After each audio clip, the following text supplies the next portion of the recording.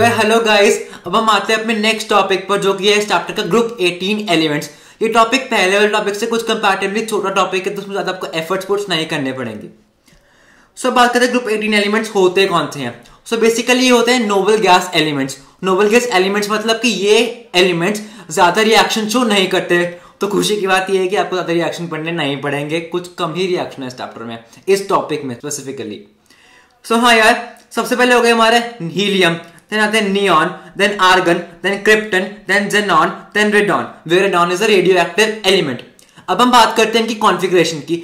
इनकी कॉन्फ़िगरेशन होती है जनरली टू NP6 मतलब क्या है? इनका जो आउटर मोस्ट शेल है वो कंप्लीटली फिल्ड होता है तो इसलिए ज़्यादा रिएक्ट नहीं करते। तो जैसे हम बात करें हीलियम की 1s2 नियॉन की 2s2 2p6 और आर्गन की three S two three P six तो यहाँ पर हम बात करते हैं यहाँ पे हीलियम और नियॉन की। अब हीलियम और नियॉन है, वो ज़्यादा रिएक्शन शो नहीं करते। इसका रीजन सिर्फ़ यही है कि जैसे हमारे पास हीलियम के पास टू डी ऑर्बिटल है ही नहीं तो अपने बॉन्ड एक्सटेंड कर ही नहीं सकती। ना वो इलेक्ट्रॉन गेन कर सकती, ना वो इलेक्ट्रॉन लूज कर सकती है। It can not expand its octet जबकि आर्गन है। आर्गन के पास डी ऑर्बिटल है। पर ये वो इतनी इफ़ेक्टिव नहीं होती। हमारे पास जो आगे के डी ऑर्बिटल है, वहाँ पे ट्रांजिशन पॉसिबल नहीं हो पाता क्योंकि हमारा three S two three P small size है। वो इतना स्टेबल है कि वो अपने इलेक्ट्रॉन को छोड़ ही छोड़ेगा ही नहीं तो देखो कोई रिएक्शन शो करेगा ही नहीं। अब हम बात करते हैं, इस चैप्टर में हम रिएक्शन पढ़ेंगे बेसिकली क्रिप्टन के बारे में और जेनॉन के बारे में, जिसमें जेनॉन का साइज़ सबसे बड़ा है। क्योंकि इसमें four D ten five S two और फाइव पी सिक्स ऑर्बिटल तक पहुँच गए। यानी कि फिफ्थ शेल ऑफ़ इलेक्ट्रॉन तक पहुँच गए। तो यार यहाँ से इलेक्ट्रॉन का गेन और रिमूवल बहुत ही ज़्यादा ईजी होगा। तो ज़्यादातर रिएक्शन जो हम यहाँ पे पढ़ने वाले हैं इस टॉपिक में, वो पढ़ेंगे हम जेनॉन के, जिसका एटॉमिक नंबर होता है 54 और कॉन्फ़िगरेशन होती है क्रिप्टन 4d10 5s2 और 5p6 they have completely filled p orbital therefore they are inert in nature अब हम देखते हैं इनर्ट गैस को कहाँ से पाते हैं। तो all noble gases except radon occur in the atmosphere तो यार हमारे एटमोसफेयर में सारी की सारी नोबल गैसेस प्रेजेंट होती है in general except radon because radon is radioactive gas अब ये तो कॉमन सी बात है कि हमारे एटमोस्फेयर में रेडियो एक्टिव रिएक्शन तो होते ही नहीं है तो सिंपल रेडॉन हमें नहीं पाई जाती नेचर में. And natural form helium and sometimes neon are found in minerals of radioactive origin for example pitchblende monazite so यार the main commercial source of helium is natural gas natural gas एक commercial source है, एक ही commercial source है, जहाँ से हम helium को extract कर सकते हैं for a commercial use so यहाँ पर वो इस नोट में वही लिखा है नोबल गैसेस की प्रॉपर्टीज़ के बारे में जो हमने अभी ऊपर डिस्कस करी. So without extending this videos length will skip to next topic अब आते हैं इलेक्ट्रॉनिक कॉन्फ़िगरेशन जो मैंने बताया कि इनकी होती है NS2 NP6 except helium which has 1s2 1p six तो होता नहीं क्योंकि फ़र्स्ट शेल में सिर्फ़ एस ऑर्बिटल होती है बी ऑर्बिटल नहीं है तो पी सिक्स होगा भी नहीं। आयनाइजेशन एंथैल्पी अब जब बात करें due to stable configuration these gases exhibit very high ionisation enthalpy इनकी आयनाइजेशन एंथैल्पी बहुत ज़्यादा होती है क्योंकि इनकी कंप्लीटली स्टेबल कॉन्फ़िगरेशन है। It decreases down the group because of increase atomic size जो हमने पहले के टॉपिक्स में देखा। अब एटॉमिक रेडियाई भी इंक्रीज करेगा क्योंकि शेल इंक्रीज कर रहा है। और हमारी इलेक्ट्रॉन गेन एंथैल्पी अब यार इलेक्ट्रॉन की enthalpy since noble gas have stable electronic configuration they have no tendency to accept electron and therefore have large positive value of electron gain enthalpy so they generally do not accept any electron because they have already fulfilled shell जब तुम्हारे पास सब कुछ है तो make satisfied हो तुम और उसे कुछ नहीं लोगे ना? सब हम बात करते हैं फ़िज़िकल प्रॉपर्टीज़ की. All noble gases are monoatomic colourless odourless tasteless therefore they are sparingly soluble in water common सी बात है ये नोबल है तो कलरलेस होंगे टेस्टलेस होंगी, और ये सिंगल फॉर्म में होंगी कोई बॉन्ड फॉर्म नहीं करेंगे आपस में। They have low melting and boiling point क्यों? यार क्योंकि इनमें डिस्पोजन फोर्सेस होते हैं। डिस्पोजन फोर्स मतलब कि लेट्स सपोज़ ए मॉलिक्यूल आपके पास है, और दूसरा आपके पास है बी मॉलिक्यूल बी मॉलिक्यूल भी रहते हैं हम हम लेते हैं उसी ए मॉलिक्यूल को। यहाँ पर हमने लिया अपना ए मॉलिक्यूल वापस। तो होगा क्या? हम यहाँ पर कुछ इलेक्ट्रोनेगेटिव एलिमेंट रख लिया मान हमने यहाँ पर रख लिया क्लोरीन क्लोरीन इसके बॉन्ड को अट्रैक्ट करेगा। इलेक्ट्रॉन को अट्रैक्ट करेगा कि इलेक्ट्रोनेगेटिव है। तो यार, यहाँ पर कुछ पॉजिटिव चार्ज आ जाएगा, जिसकी वजह से यहाँ पर भी अट्रैक्शन होगी तो डेल नेगेटिव चार्ज आ जाएगा। ऐसे फॉलो होता रहेगा हमारा। पर इस केस में इलेक्ट्रॉन्स बहुत ज़्यादा होते हैं और एक बहुत स्टेबल कंपाउंड है। तो यहाँ पर डिस्पर्शन फोर्सेस ज़्यादा नहीं होंगे। Therefore the atom have weak van der Waals forces और weak dispersion forces. Points to remember. Helium has lowest boiling point because of small size. Boiling point increase in down the group because of increase in van der Waals forces जो हम discuss कर चुके हैं explain how Neil Bartlett synthesis the first noble gas compound अब Neil Barrett ने सबसे पहला compound कैसे निकाला था तो यार उसने किया क्या हमारे पास एक कंपाउंड था O2 PTF6 ये हमारे कोऑर्डिनेशन कंपाउंड था इसका कलर था रेड जिसमें O2 किस स्टेट में था? हमारा O2 प्लस और PTF6 माइनस सो यार he then realise that the energy required to convert Xc to Xc plus is of the same order as required to convert O2 to O2 plus तो उसने ये सोचा कि यार energy same है तो conversion भी पॉसिबल होगा ही। सो so, इसलिए हमने बाद में कंपाउंड बनाया Xc से। Xc PTF6 में Xc प्लस है और PTF6 माइनस है जो कि रेड कलर का होता है। अब आते हैं chemical properties of the compound noble gases are least reactive और केमिकली इनर्ट हमें पता है। कंप्लीटली फिर इलेक्ट्रॉनिक कॉन्फ़िगरेशन होती है उनकी। They have high energy enthalpy and very positive value of EGE हम डिस्कस कर चुके पहले। Noble gases are known to form compound with only oxygen and fluorine यार, इसका रीजन क्यों है? यार, अब कोई भी गैस तभी फॉर्म करेगी जब उसके पास कुछ ज़्यादा अट्रैक्टिव है। अब नोबल गैस कहती है, मैं तो भाई सब कुछ है मेरे पास मैं एक अमीर आदमी हूँ। अब अमीर आदमी से कोई कुछ ले सकता नहीं है या कुछ दे सकता नहीं है। अब लेने की बात है, अब कोई आएगा गुंडा। गुंडा माँ वाली कहता, ओ भाई, मुझे दे तू ये सारे पैसे सारे पैसे अपने थोड़े पैसे मुझे दे। वो तभी देखना जब से कुछ स्ट्रॉन्ग फोर्स आएगा। तो वैसे ही ऑक्सीजन और फ्लोरिन से ज़्यादा इलेक्ट्रोनेगेटिव है। तो वो गुंडे हैं और नोबल गैस बेचारा शांत। तो वो गुंडे उससे थोड़े बहुत उससे इलेक्ट्रॉन ले लेंगे। समझी बात? अब आती है noble gases only Kr and Xc are known to form compounds. Why? यार, हम डिस्कस कर चुके क्योंकि उनके पास डी ऑर्बिटल वेकेंट होती है, उनका साइज़ बड़ा होता है और उनकी आई वैल्यू भी बहुत कम होती है so they can form compound so xenon fluoride compound अब जेनॉन फ्लोराइड के साथ कंपाउंड फॉर्म करता है कैसे? तो यार होगा कि हमारे पास एक्सी है एक्सी ज़्यादा एक्सेस में लेंगे हम और एफ़ टू लेंगे। सो यार क्या फॉर्म होगा हमारा? हमारा एक्सी एफ़ टू फॉर्म होगा। पर यही अगर हम फ्लोरिन को बहुत ज़्यादा ले, एक पर्टिकुलर रेशो में, यानी one is to five ratio में ले तो 873 केल्विन और 7 बार प्रेशर पर हमारा एक्सी एफ़ टू फॉर्म होगा। एक्सी एफ़ फोर फॉर्म होगा सॉरी पर ये अगर हम एक्सी और एफ़ टू को वन एस ट्वेंटी के रेशो में ले तो हमारा एक्सी एफ़ सिक्स फॉर्म होगा। जैसे जिसकी हाइब्रिडाइजेशन होगी हमारा S P three D two ठीक है? इसकी होगी S P three D two इसकी भी, और इसकी भी होगी S P three only XCF6 can also be prepare by following method यानी XCF4 में आपको फ्लोरिन ऐड करनी है। कैसे करें? XCF4 प्लस O2F2 इसमें O2 है। O2 plus F2 minus two O two plus two यानी O प्लस है यहाँ पर हमारा। तो O प्लस क्या करेगा? खुद रिड्यूस होना चाहेगा। तो वो क्या करेगा? इसको ऑक्सीडाइज कर देगा XCF6 में और खुद हो जाएगा O2 में रिड्यूस अब आते हैं स्ट्रक्चर्स पे।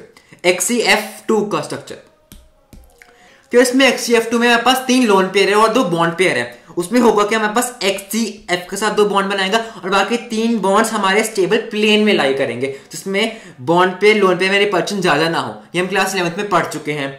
एक्सीएफ फोर में इसका स्क्वायर प्लेन है, जिसमें आपके लोन पेयर्स होंगे परपेंडिकुलर एक्सियल बॉन्ड्स पे और हमारे जो फ्लोरिन और जेनॉन के बॉन्ड्स होंगे, वो होंगे हमारे प्लेन पे स्क्वायर प्लेन पे।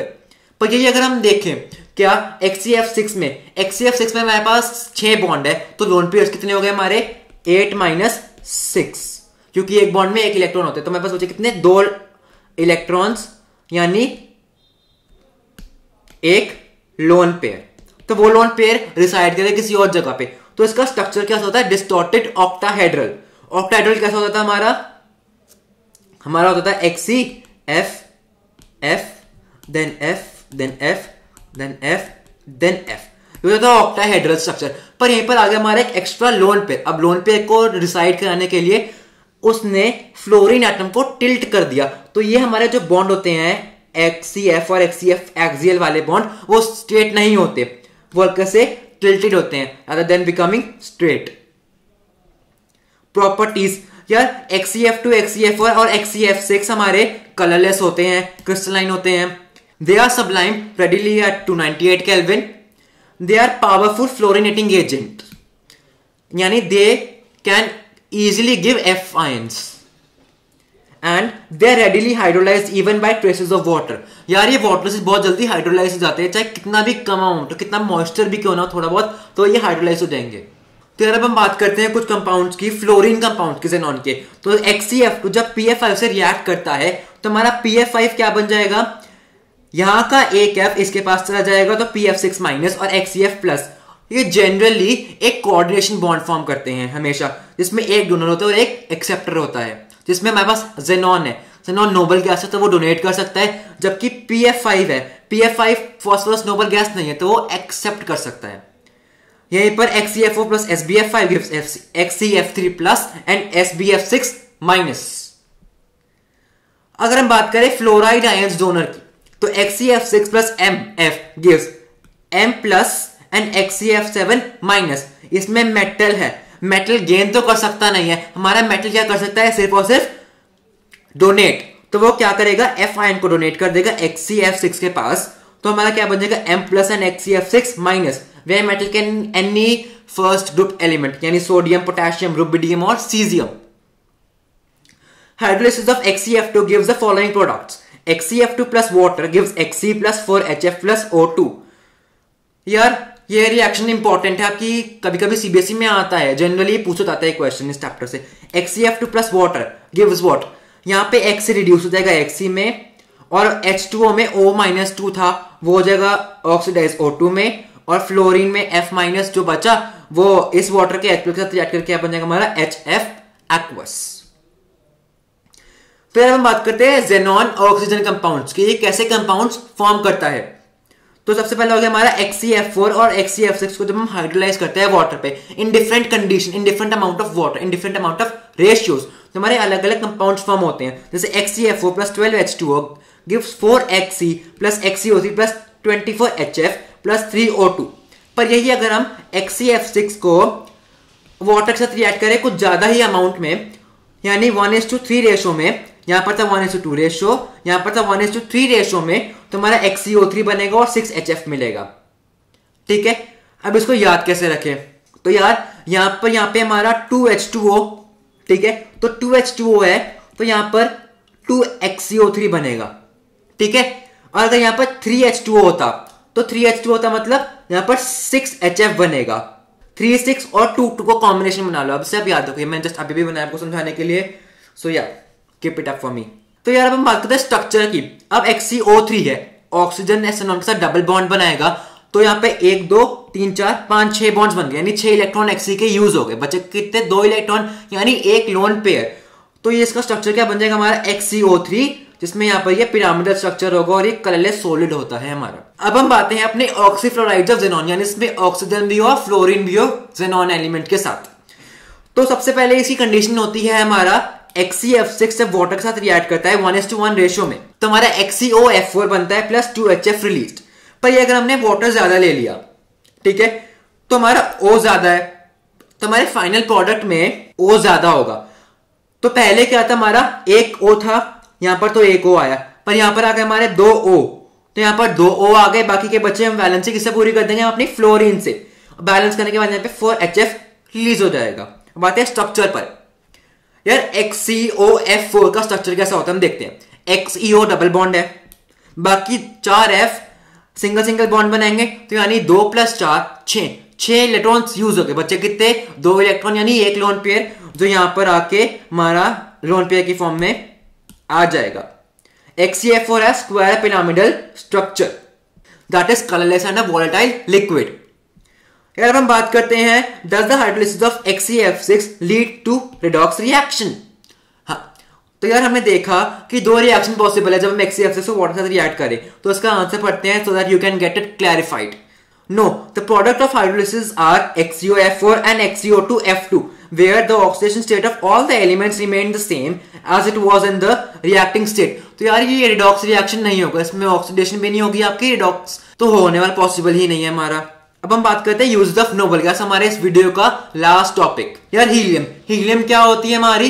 सबसे पहले डिस्कस करते हैं कि यार नोबल गैसेस के यूजेस हमारे सीबीएसई में तो आते नहीं है। मतलब गैसेस के रिएक्शन आते हैं, उनकी प्रॉपर्टीज़ आती है, उनके यूजेस नहीं आते हैं। फिर भी if you want read them you can read it so that आपका कुछ लूज ना हो, आपके कुछ मार्क्स लूज ना हो। तो पर हम डिस्कस करते हैं हीलियम यार हीलियम नॉन फ्लेमेबल और लाइट गैस है, जिससे हम हम बैलून में फिल करने के लिए भी यूज़ करते हैं।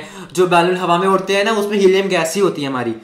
It is also use in gas cold nuclear reactors it is non inflammable and light gas hence it is use in filling balloon और meteorological observation why helium is use in diving apparatus तो अगर मैं solution chapter में पढ़ा था, इसका reason तो फिर से पढ़ते हैं। Helium is use as a diluent for oxygen in modern diving apparatus because of its very low solubility in तो यार हमारे ब्लड में ये ज़्यादा सॉल्यूबल नहीं होती है तो हमारे ऑब्वियसली बात है कि ये आसानी से रिलीज़ हो जाएगी। हमारे जैसे सीओ टू रिलीज़ करते हैं हम, वैसे ही हीलियम भी रिलीज़ हो जाएगी। हमारे ब्लड में सोल्यूबल नहीं होती है। So it is use as a diluent और as a solvent neon neon is use in discharge tubes and fluorescent bulbs for advance display purposes and it is use in botanical garden and in green houses ये inert atmosphere provide करती है botanical gardens में और green houses में। अब आती है argon की बारी। अब आर्गन कहती है, भाई, मैं भी बड़ी काम की हूँ। अब इसके क्या काम होते हैं? It is used mainly to provide inert atmosphere in high temperature metallurgical processes and used for filling electrical bulbs. तो यार, जो हमारे बल्ब्स होते हैं ना, उसमें जो गैस फिल्ड होती है एटमॉस्फेयर प्रोवाइड करने के लिए वो आर्गन गैस होती है, जो हीट कंडक्ट रखती है अपने पास। It is use in laboratory for handling substances that are air sensitive तो यार वही इसमें वही रीजन हो गया कि ये एक इनर्ट एटमॉस्फेयर प्रोवाइड करती है तो जनरली जो हमारे एन होता है सॉलिड वो बहुत ही ज़्यादा वॉलेटाइल होता है, वो बहुत जल्दी हीट कैच कर लेता है और फ्लेमेबल होता है। तो हम इसको एक आर्गन के एटमॉस्फेयर में स्टोर करते हैं ताकि वो फ्लेमेबल ना हो। Xenon and krypton are use in light bulb design for special purposes इसका भी रीजन है कि लाइट बल्ब यूज़ होते हैं, जिसका स्पेशल काम होता है, यानी इनॉट एटमॉस्फेयर प्रोवाइड सो यार, हमारी आज की वीडियो यहीं तक थी। ये 18 ग्रुप बहुत छोटा ग्रुप है तो इसमें hope you like this group इसमें ज़्यादा रिएक्शंस भी नहीं होता प्रॉपर्टीज़ भी नहीं है। So you must read it क्योंकि ये इजी सा है। Till then bye do not forget to like, share and subscribe to the channel and share with your friends till then, all the best, good day, tata and bye bye